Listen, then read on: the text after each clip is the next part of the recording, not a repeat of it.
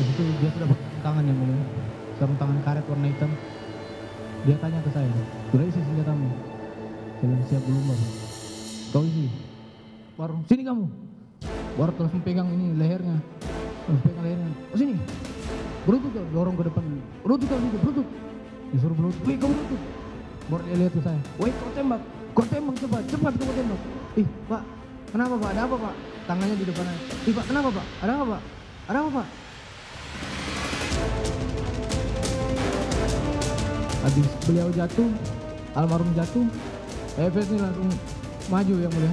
Saya lihat dia langsung pegang senjata. Dia pegang senjata dulu, dia ke arah almarhum dia ada sempat tembak yang mulia ke arah almarhum Bagaimana cara saudara F menembak?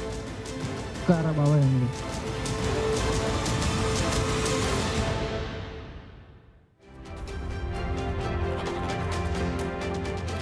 Upaya mengungkap siapa saja yang menembak Brigadir Yosua, ahli inafis hingga balistik dihadirkan dalam persidangan Verdi Sambo.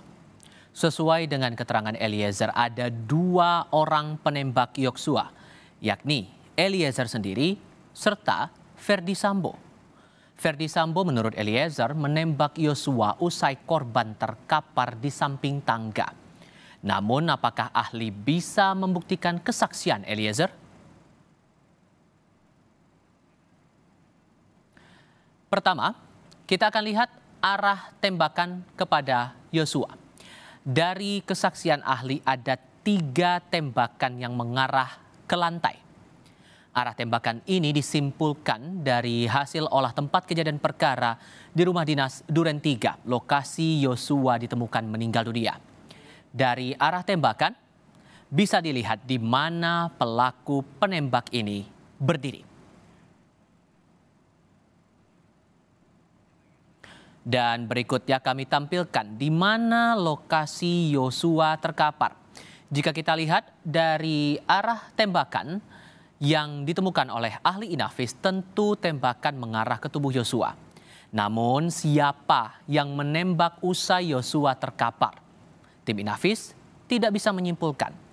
Arah tembakan ke bawah juga sempat dipertegas oleh ahli balistik yang juga dihadirkan di ruang sidang. Bahkan ahli balistik memperagakan bagaimana pelaku melakukan penembakan. Posisinya eh, posisinya dia karena sudut yang terbentuk eh, sangat eh, tidak melebihi 45 derajat sehingga sudutnya dia agak turun. Jadi dia senjata itu dia berada di di bawah. Di bawah. Oh begini Siap. ya. Siap. Kalau Posisinya di bawah. orangnya mau jongkok atau tidak Eh, kita tidak, tidak bisa pastikan. Siap, Tapi siap. kalau moncong Senjata. senjatanya, Siap. apa namanya moncong senjata? Laras namanya. ya. Nah, larasnya, Siap. Moncong senjata betul. ah, itu mengarah ke modelnya seperti ini bawah itu. Siap betul. Arahnya bawah. Oh seperti itu ya. Siap.